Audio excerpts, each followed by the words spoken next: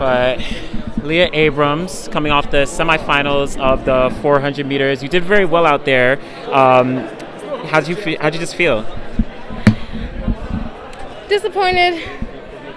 Um, it's one of my slower times for the season. And it just, it just didn't come together when it really mattered.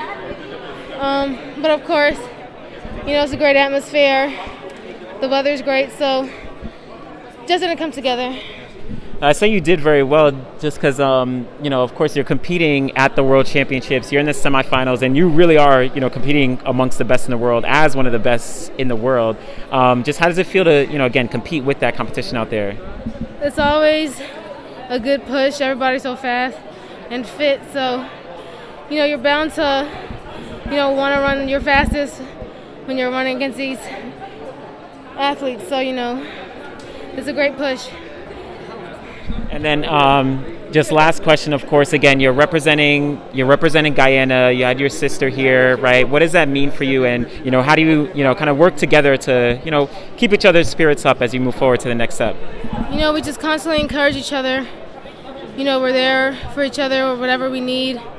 So it's just always good to have her, knowing that somebody's in my corner when I get out of this place. So it's always good to know that she's there. Great job, great job. Thank you so much.